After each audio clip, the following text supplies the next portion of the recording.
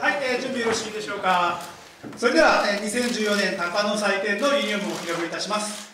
えー、2014年の、えー、高野祭典のユニフォームのデザインは、えー、赤、色名は勝ち時レッド2014です。えー、勝ち時レッドは2010年に採用した伊沢家若鷹軍団の炎の若鷹軍団のイメージから作った色なんですが、えー、北総奇跡の逆転リーグ優勝に導いた勝ち色でもあります、えー、さらにですね、え今年は日本一になるぞという強い思いを胸元のロゴマークをチャンピオンゴールド金色にすることによって表現しました。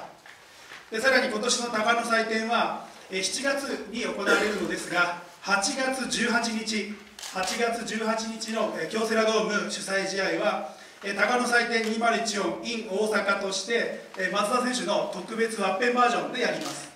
そのワッペンが金色になります。でこの日はお客さんに配布するユニフォームのワッペンも金色に変わります。それでは質疑があれば始めたいと思います。よろしくお願いします。えー、代表で RKB の岩井が務めます。よろしくお願いします。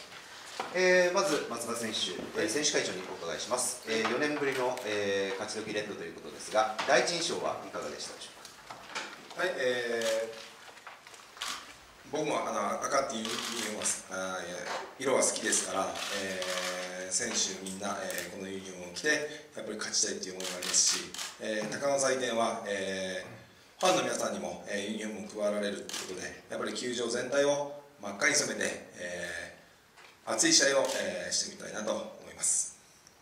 ご自身鏡の前に立たれたと思いますが、はい、いかがですかいや本当、えー、身も心も、えー、真っ赤に燃えて自分でめちゃめちゃ似合ってると思います。ありがとうございます、はい、えー、続きまして中田投手、はい、えー、初めての、えー、高野祭典となりますけれども、えー、ご自身着られてみていかがでしょうか？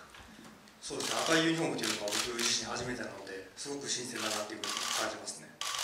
えー、高野祭典はまた、えー、普通の、あのホームのユニフォームと全く違うということなんですけれども、えー、そういうイベントに関しましては、えー、どのようにお感じになりますか？そうですあのこういうイベントをやってるっていうのを聞いてますし毎年あのいろんな色をあの着て選手が躍動している姿を見ているのであの僕も一緒になってあの躍動したいなと思います、えー、お二人にお伺いしたいんですが、えーまあ、赤の奇跡あのライオンズ戦思い返せばまあえー、あそこから練習がスタートしたということなんですけれども、まあ、今年は奇跡が必要がないぐらい強いと思いますが、えー、これを着てどんなプレーをしたい？か？いやもうさっきも言ったんですけど真っ赤っかに燃えて、えー、本当に、えー、選手と、えー、ファンの皆さんと、えー、一体になって、えー、勝ち時レッド、えー、で頑張っていきたいと思います。えー、中田投手どんなプレーを見せたいでしょうか？そうですあの北九州の方でもあのやるみたいなのでまたあのこっちの球場とは違った雰囲気ですごくあの赤のユニフォームで圧迫感があると思うのでそれをこのチチーム相手チームに何ですか、ね、プレッシャー与えてというかあの全員でまた一丸となってやっていきたいなと思いますね。え代表以上になります。えー、他局の皆様他に何かご質問があれば大丈夫でしょうか。ではテレビ代表以上になりますはい、えー、他なければフォトセッションに入りますではまずスチールさんから撮影を始めましょうはいこちらお願いしますちょ俺がやるもちょっとポーズやらせてくださいよ。いや俺がやるポーズはい。俺がやるポーズこれねありがとうどうい。うのはい。すみません、こちらお願い。します。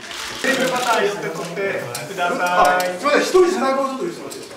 僕い。い。ですか。はい。はい。よろしくお願い。します。はい。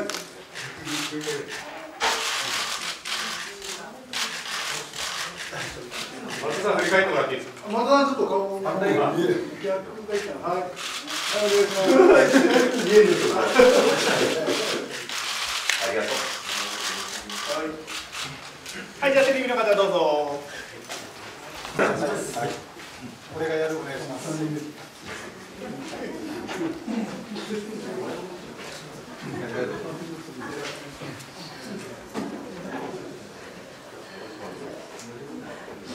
ざいますはいいいです。か